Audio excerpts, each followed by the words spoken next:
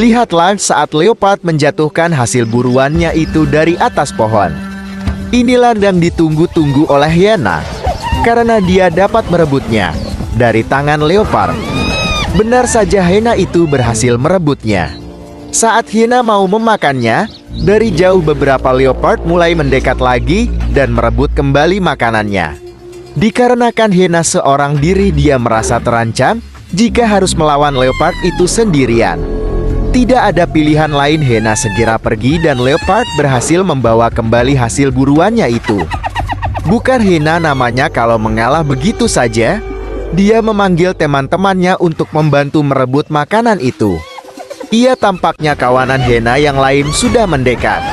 Dan Hena itu pun berani kembali merebut makanan itu lagi dari Leopard.